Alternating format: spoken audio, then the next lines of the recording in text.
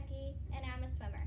Did you know that sometimes I swim 40 miles a week and I win 14 World Championship gold medals?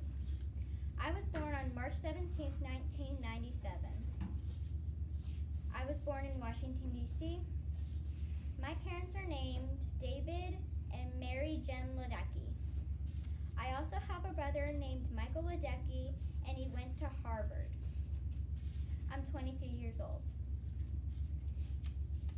The college I went to is Stanford University in California. And my high school that I went to is Stone Ridge at the Sacred Heart, which is in Maryland. I graduated from Stanford University on December 2nd, 2020. I was an Olympic swimmer. I once went to a school in North Dakota to talk about my job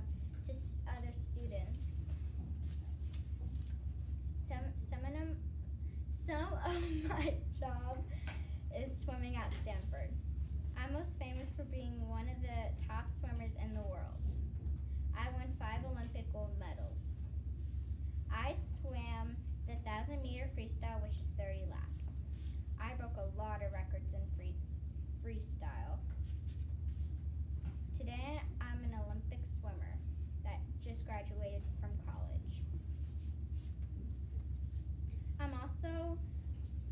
for being one of the top female swimmers in the world.